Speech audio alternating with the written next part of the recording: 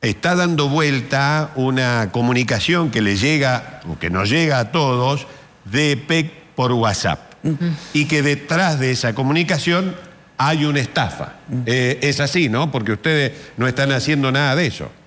No, primero que nada, eh, eh, Lagarto, les agradezco realmente este espacio porque para nosotros es muy importante poder advertir esto. Primero que nada, en esta comunicación se ofrece una tarifa para jubilados. Bueno, mm. en EPEC no existe ninguna tarifa destinada a los jubilados.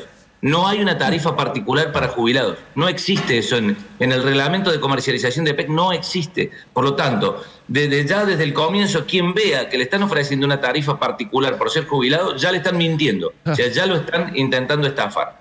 Y después, EPEC no se comunica por WhatsApp, no pide ningún código, no pide ningún dato particular, porque cuando nosotros nos comunicamos con algún usuario es porque ya tenemos los datos de ese usuario.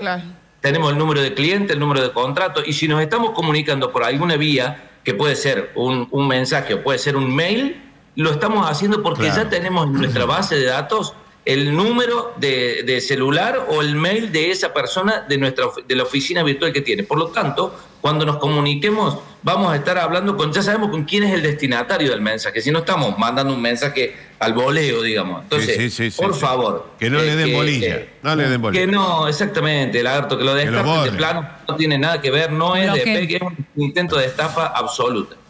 Bueno, eh, Alfredo Camponovo.